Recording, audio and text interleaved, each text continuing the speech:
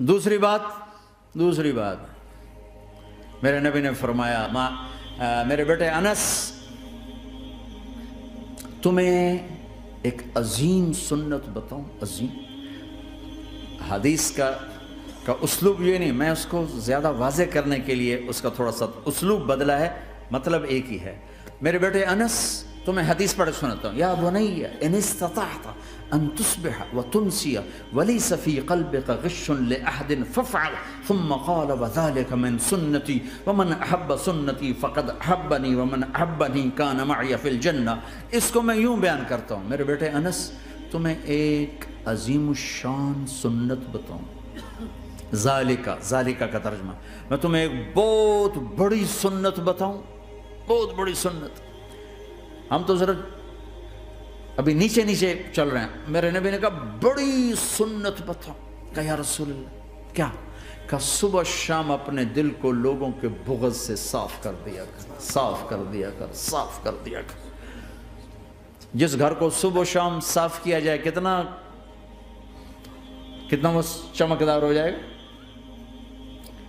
जिस कपड़े को सुबह शाम धोया जाए, प्रेस किया जाए, कितना चमकने लग जाएगा? तो दिल भी एक घर है, दिल भी एक कपड़ा है, इस पर दाग लगते हैं, जब मैं किसी के साथ नेगेटिव होता हूँ तो उसका असर उसके दिल पे जाता है। तो मेरे नबी ने कहा बेटा, चूँकि बहुत ज़्यादा, आंधी बहुत ज़्यादा है तो सिर्फ़ एक दफ़ा झाड़ू देना काफ़ी नहीं होगा, सुबह भी झाड़ू देना है और शाम को भी झाड़ू देना है और रात को सोने से पहले ये कह के सोया करो, या अल्लाह, मैंने सबको माफ़ किया। कोई माफ़ी मांगने आ जाए तो देर न करना, फ़ौरन माफ़ करना। और तुमसे खता हो जाए तो माफ़, माफ़ी मांगने में देर ना करना। कोई तुमसे ज्यादती हो जाए तो माफ़ी मांगने में देर ना करना। और तुम पर ज्यादती करके कोई माफ़ी मांगने आ जाए तो माफ़ करने में देर ना करना। अल्लाह की रहमत तुम ऐसे छाओ में ले लेगी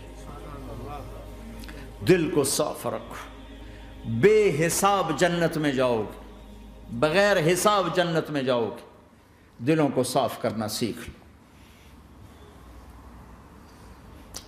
अपने दिल को झाड़ू से, देखो ना, अगर हम अपने घर को साफ़ नहीं करेंगे तो कितना गंदा हो जाएगा। और साफ़ करेंगे तो चमकदार हो जाएगा, दिल तुम्हारा घर है। इसको अल्लाह ने अपने लिए पसंद किया है, इसको साफ़ करो, सुबह भी, शाम भी। अल्लाह, मैं किसी से नाराज़ नहीं। अगर तुम इस मजमे में ऐसे लोग बैठे हो जो किसी से तुम बोलते नहीं हो भाई भाई है, दोस्त है, मियाँ है, बीवी है, चाचा है, भतीज, आपस में अगर तुम कटे हुए हो, हाथ छोड़ता हूँ, उठते ही सुलह कर लो। चूँकि मेरे नबी का फरमान है, जब दो मुसलमान आपस में लड़ पड़े और बात ना करें, बात ना करें, बात ना करें तो अल्लाह उनके सारे अमल मरदूद कर दे तो कहता जब तक ये सुलह नहीं करेंगे, इनका कोई अमल कबूल नहीं तो अपने दिल पे पत्थर रखो, माफ़ करो, खुद जाके माफ़ी मांगो। चाहे जितना इसमें तुम्हें ज़ोर लगाना पड़े, मांगो। अल्लाह की कसम, मेरे नबी का फरमान है, माफ़ करने से इज़्ज़त घटे तो मुझसे ले लो। माफ़ करने से इज़्ज़त नहीं घटती।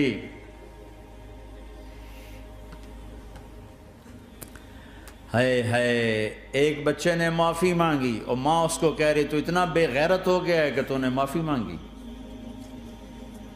अगर माँ कह रही तो इतना बेगैरत हो गया तूने माफ़ी मांगी?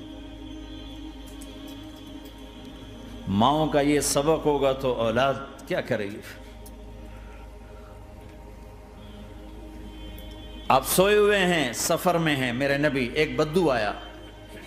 गौरस उसका नाम था गौरफ उसने आप ही की तलवार उठाई और आपके यूँ पसली में मारी। आपकी आँख खुली तो तलवार लेके खड़ा, मन यमना कमिन्नी अब बोल, कौन बचाएगा? तैयार हो या? तो आप हंस पड़े। हमने कहा, अल्लाह। वो अल्लाह कहना था कि तलवार उसके हाथ से गिर गई। तो आपने उठा ली, आपने ऐसे सीधी की, आपने कहा, अब तुम्हें कौन बचाएगा? कहने लगा, मुझे तो तू ही बचाएगा। तो आपने कहा, कलमा पढ़ते हो? कहा, नहीं पढ़ता। कहा, जाओ, माफ़ किया। जाओ, माफ़ किया।